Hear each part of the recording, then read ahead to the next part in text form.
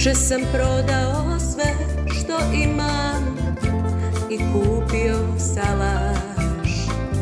Sa do konja vranca kasom idem pesmom gde je balaš. Široko, široko, gde dopire oko. Srcem ti nazdravlja, pesmom te pozdravlja. Zategni čaršafe Pozovi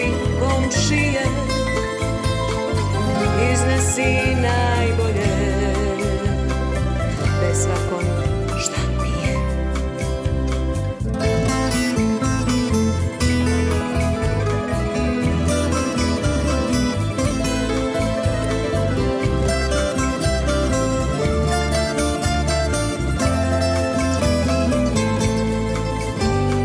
Sin sam ravnice što gazi bos I tim se diči.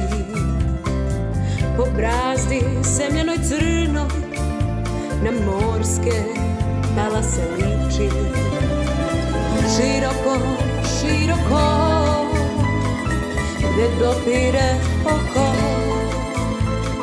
Srcem ti nazdravlja pesmom te pozdravljam.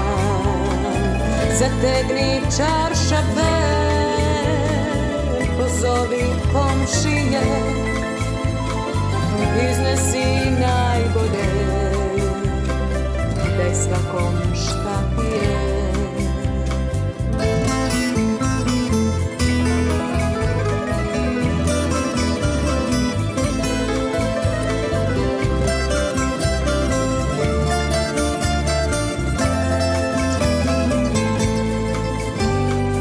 Ne menjam stare navike i radost raste kad se deli.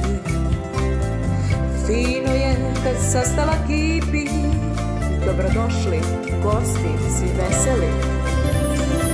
Široko, široko, gde dopire oko Srcem ti nazdravlja pesmom te pozdravljam Široko, široko raširi ruke ti. Daj da te zagrli To će nam trebati.